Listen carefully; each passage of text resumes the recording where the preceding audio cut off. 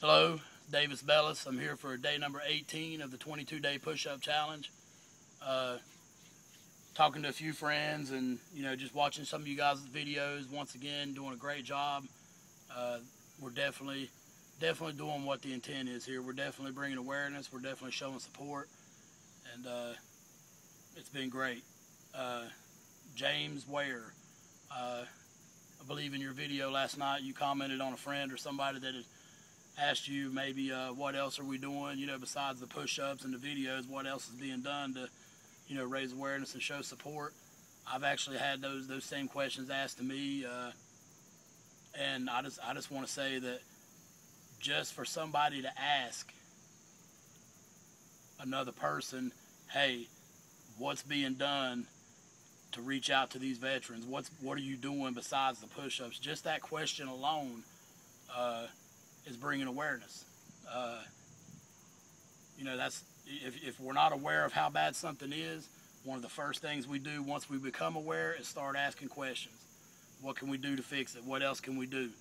So uh, I'm not discouraged at all when people ask me questions about this or, you know, want to know what else we're doing or, you know, I'm not, I'm not, I'm not discouraged at all by that. I think that's a wonderful thing. People need to ask questions. Uh, also, I want to say uh, Lucas Greer and uh, John Sloan, uh, the way the Lord has blessed you two gentlemen, the, the way the way you are, you, you, both are so humble, and the way you share your your the, word, the way you share your your relationship with Jesus with the rest of us. I can't tell you how much I appreciate that. Uh, it's, it's such a blessing for me, just personally. It's such a blessing to, to know and see and work with two young brothers that are uh, that are that are that bold and that on fire for the Lord. And I know the only way that's possible is you have to be full of the Holy Spirit. I can see it in both of you. Uh, pretty much noticed it right away the first time I met both of you, the first time I heard you speak. And I just want to let you know both that I love you, I appreciate you, and uh, I appreciate how the Lord lifts me up and blesses me and guides me through other Christians like yourselves.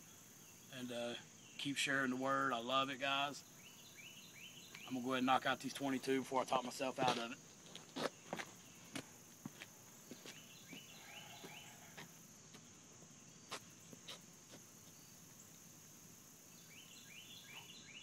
Two, three, four, five, six, seven, eight, nine.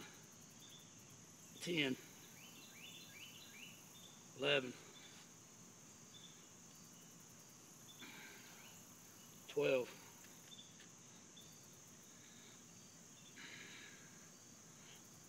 13, 14, 15,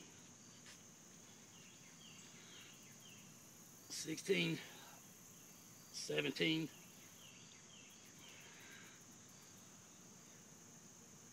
18, 19, 20,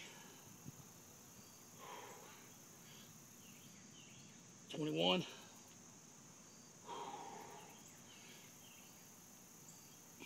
22,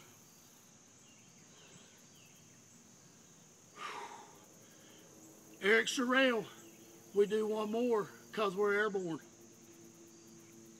Hold it. Hold it.